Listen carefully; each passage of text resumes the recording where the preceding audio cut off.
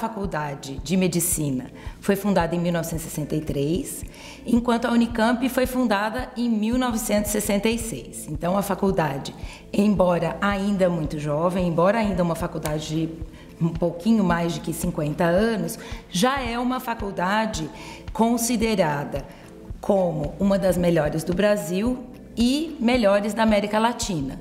Possivelmente nós temos a maior relação candidato-vaga no vestibular para a entrada no nosso curso de medicina. Isso eu acho que não, não é em vão, isso tem motivos e a gente acredita que o curso de medicina é um curso muito diferenciado. É a inserção do aluno desde que ele chega na prática clínica. Desde o primeiro ano, o aluno é inserido, atua em postos de saúde, até o sexto ano, com um campo de prática muito extenso.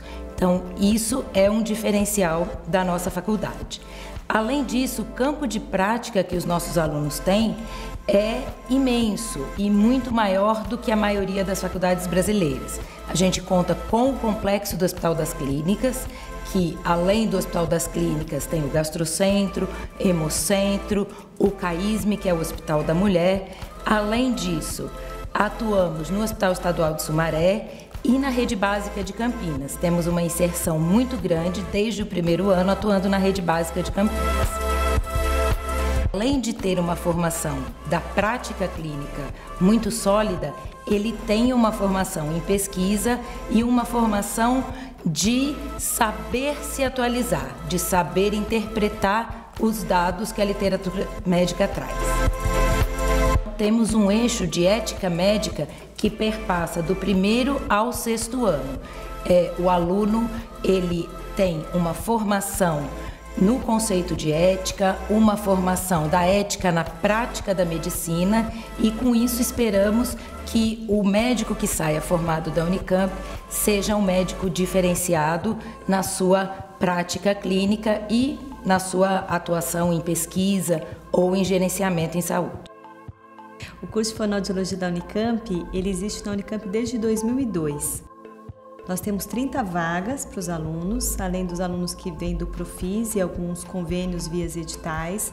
O corpo docente é constituído principalmente por docentes da Faculdade de Medicina, fonoaudiólogos, médicos, terapeutas ocupacionais, fisioterapias, mas nós temos também uma importante, importante contribuição do Instituto do IEL, do Instituto de Linguagem que divide com a Faculdade de Ciências Médicas a administração do curso.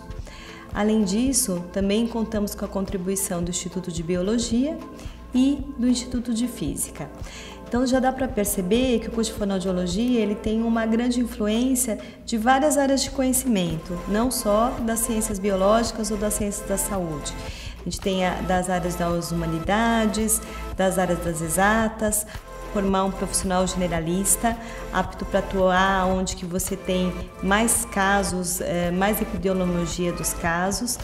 E a fonoaudiologia, ela é uma área que abrange desde é, voz, a parte de audição, desde crianças que têm é, pequenas alterações até pacientes com muito comprometimento, assim também como ele se volta para pessoas que querem aprimorar a sua forma de falar, a sua forma de expressar.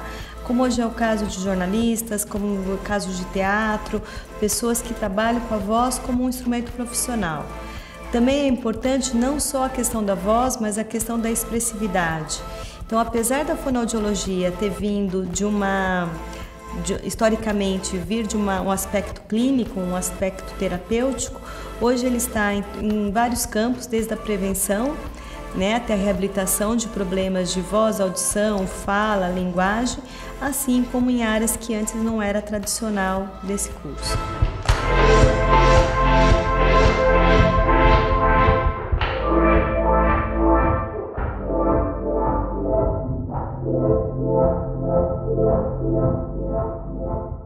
Thank you.